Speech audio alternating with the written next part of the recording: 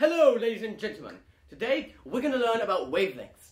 Now, as you see, what I've got here is a big long tube, and inside this tube we have this liquidy water, right? And so what's going to happen is this speaker is going to boost, you know, the beats, the drums, the hip hop yabbity yap down through here, and it's going to push the water up and down, creating what we in the business call wavelengths, right? So this is going to come up, it's going to point up and down, and it's going to be generally amazing. You won't believe your eyes.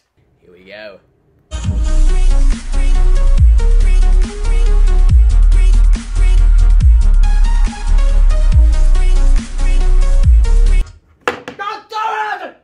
Alright, as you can see there, the experiment did not quite work. They went, Amy!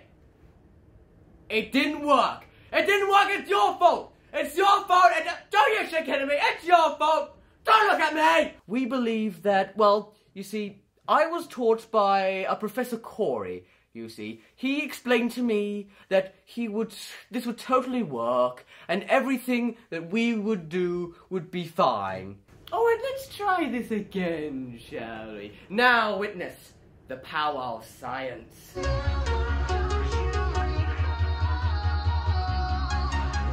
See now, the waves. So, if you think about it, it's this Mr. Corey's problem. As you can see now, the waves are clearly. As you can see now, look, the waves are.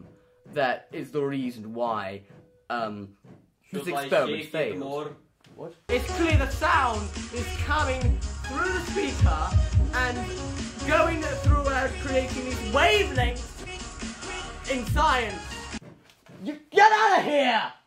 But you told me to shake five. Get out of here! It failed! It's over!